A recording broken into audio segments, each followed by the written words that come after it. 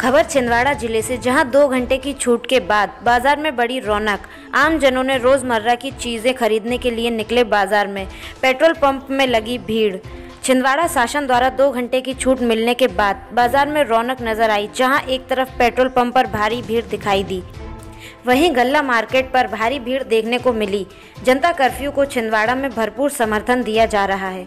इसी दौरान आज आम जनता को 12 बजे से 2 बजे के बीच घर में रोज लगने वाली चीज़ों के लिए दी गई छूट। देखिए पूरी खबर आई बी न्यूज़ के लिए। आशीष मालवीय की रिपोर्ट। मेरे पास रखे हुए थे।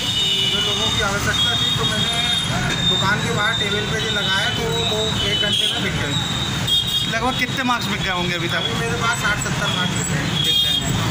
और छूट यदि मिलती रही अब इसके बाद वो डायरेक्ट ही वर्कआउट हो गए तो फिर क्या करेंगे इसे?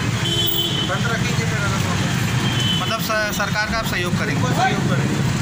किराना लेने आया था ज़रूरत की जो चीज़ें बच्चों के लिए कुछ बिस्किट दूध ये सामान लेने आया था तो प्रशासन ने जो जो छूट दी है इसमें जितने भी जो भी ज़रूरतमंद है दो घंटे में उनकी सारी पूर्ति हो और ये प्रशासन का बहुत अच्छा प्रयास था जिसमें पब्लिक ने भी अच्छा साथ दिया है और आगे भी अगर पब्लिक ऐसे ही रहेगी साथ देगी तो एक एक दो दो घंटे की छूट शासन ज़रूर देगी। क्या नाम है आपका? संदेश जी